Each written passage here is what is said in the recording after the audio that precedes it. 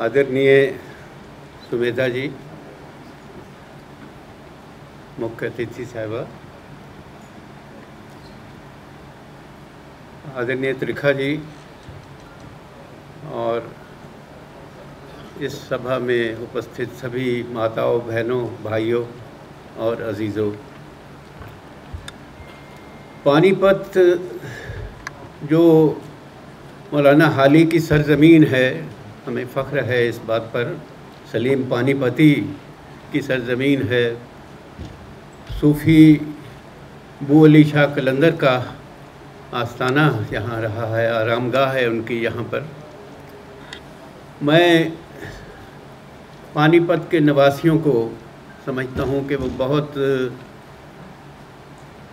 खुशकस्मत हैं इस बात पर कि उनको सुमेधा जी जैसी डिप्टी कमिश्नर यहाँ तैनात हैं। मैं 35 बरस मैंने कुरुक्षेत्र में गुजारे हैं और सुमेधा जी का जहाँ तक मेरा ख्याल है, इनका ज़्यादा समय कुरुक्षेत्र ही में मुख्तलफ़ पदों पर इनका गुज़रा है। मुझे याद भी वो दिन याद है जब बरसों पहले पहली बार वो वहाँ उनकी नियुक्ति हुई थी शायद block education block development officer के रूप में तो मैं उनके निवास पर उनसे मिला था और उनकी कला और साहित्य प्रेम से उनका कलाम भी सुना था। मुझे याद है एक इनकी बहुत मशहूर नज़म है आ,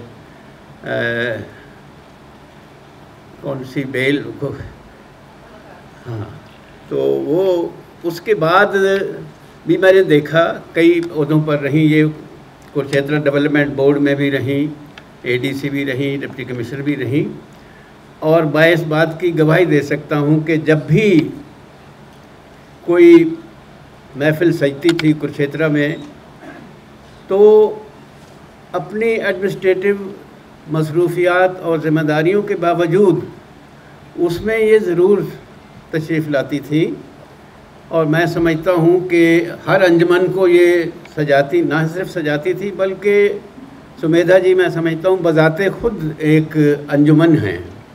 जहाँ भी जाती हैं, कला और साहित्य की खुशबू इनके साथ साथ रहती है।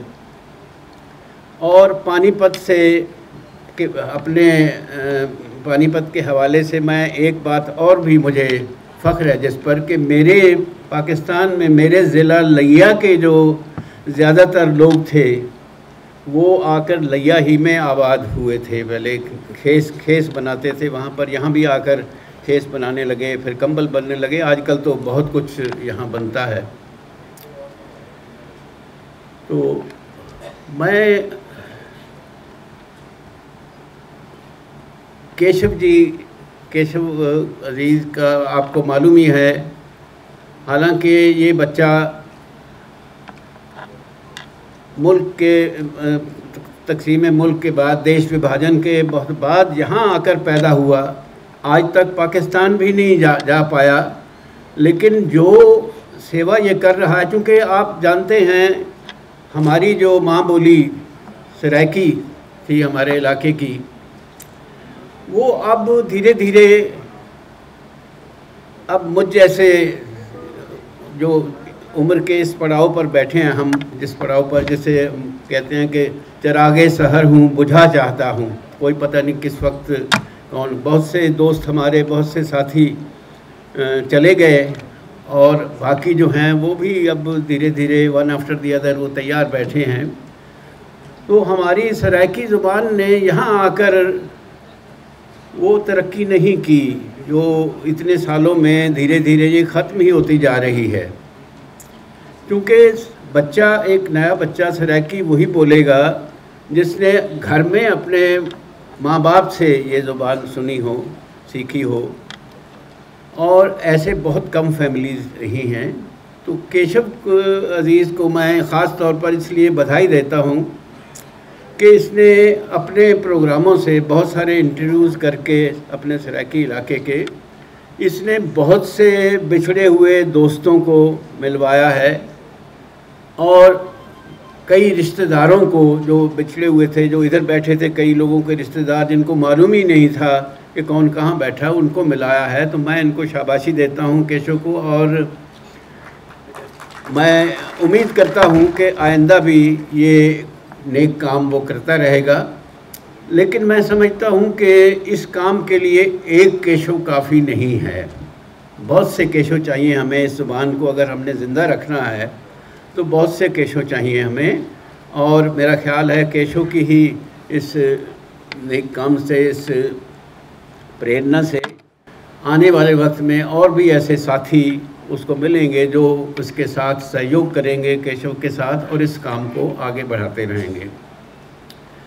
अब मैं, चूँकि ये देश विभाजन के बारे में आज हम इकट्ठे हुए हैं, बहुत सारी यादें जो हैं साझा करने के लिए, मैं, याद है मुझे, मैं 12 बरस का था जब नाइनटीन फोर्टी सेवन में और मैं समझता हूँ, मैं बहुत सौभाग्यशाली हूँ कि मेरी जो एक मन की बड़ी देरीना इच्छा थी, वो तकरीबन तिरसठ, चौंसठ साल के बाद पूरी हुई 2010 में, जब मुझे अपने घर की ज़्यादत करने का मौका मिला। हंस जी हमारे बहुत पूजनीय हैं, सराकी, हमारे सराकी, हमारा सराकी इलाका, मैं आपको बताऊँ कि साहित्यिक रूप से, अदबी लिहाज से बहुत ही जरखेज़ रहा है। बहुत शायर, बहुत, पत्रकार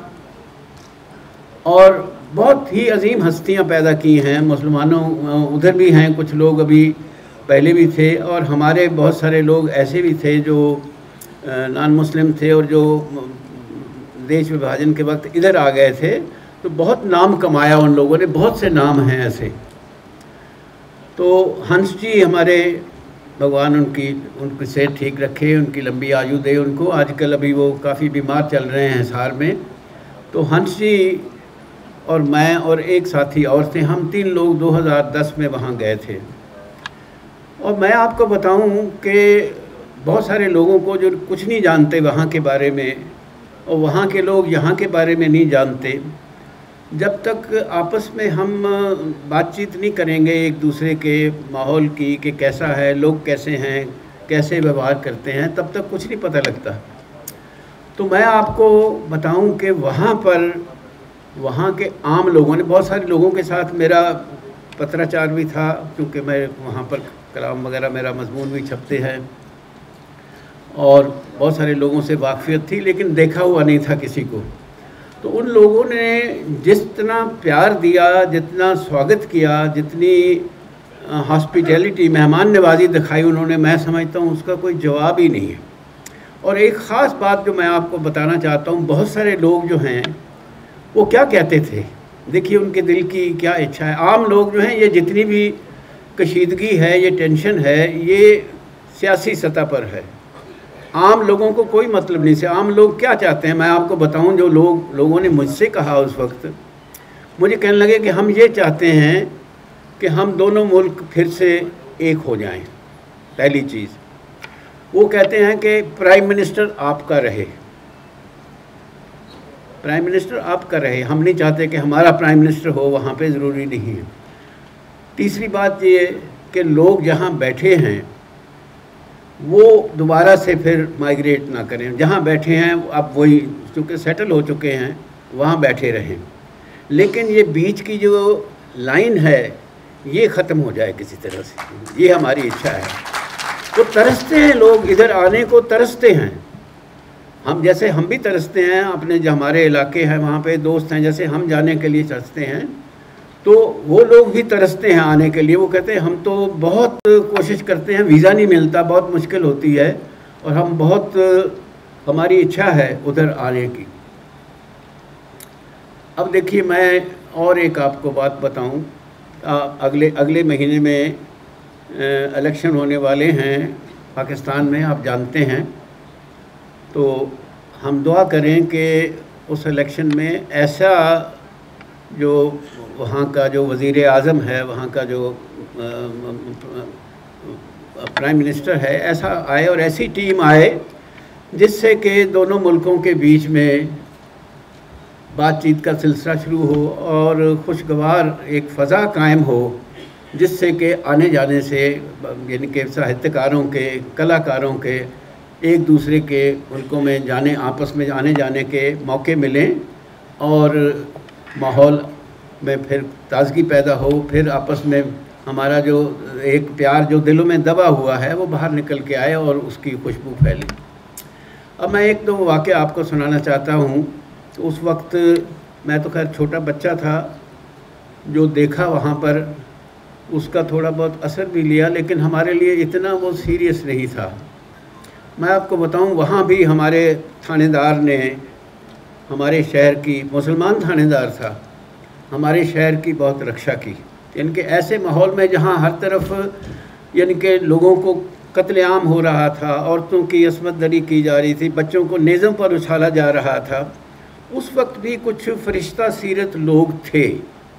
मैं आपको मिसाल देता हूँ, उधर की भी, इधर की भी। हमारा जो थानेदार था, उसने कहा था, मुसलमान था, उसने कहा, देखिए, आप ये मत समझिए कि मैं मुसलमान हूँ और मैं कोई पक्षपात करूँगा। मैं जब तक ज़िंदा हूँ, आपको मेरे कहीं कहने के मुताबिक चलना होगा।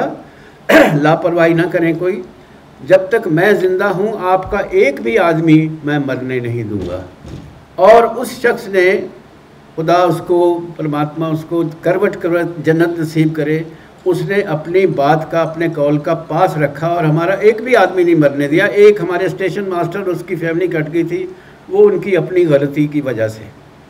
अब देखिए, यहाँ जब हम आए, सबसे पहले पंजाब में डिस्ट्रिक्ट फिरोजपुर में एक जगह है ज़ीरा मेरे वालिद हेडमास्टर थे तो वहाँ उनकी नियुक्ति हुई थी पहली बार।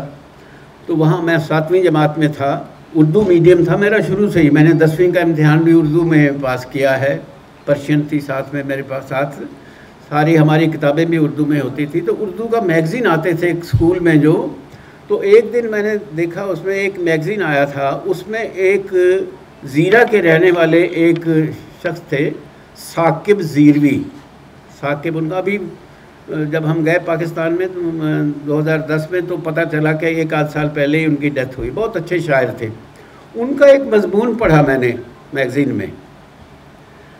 उस मजमून में उन्होंने क्या लिखा था कि जिन दिनों ये सारे फसादा चल रहे थे तो मुझे मारने के लिए वो मुझे डर था कि मुझे मार देंगे लोग तो मैं अपना एक दोस्त, बस गुरमुख सिंह दर्जी वो थे उनको, उनके उनके घर में जाके मैं पना ली, मैंने वहाँ छुप गया। और दो ढाई सौ आदमी आए मारने के लिए जब मुझे तो गुरमुख सिंह को और कुछ नहीं सूझा भी इतने आदमियों का मैं कैसे मुकाबला करूँगा? तो उसने क्या किया? उसकी बीवी बीमार थी, वो एक सर्दी लग रही थी, उसको एक चारपाई पर लेटी हुई थी।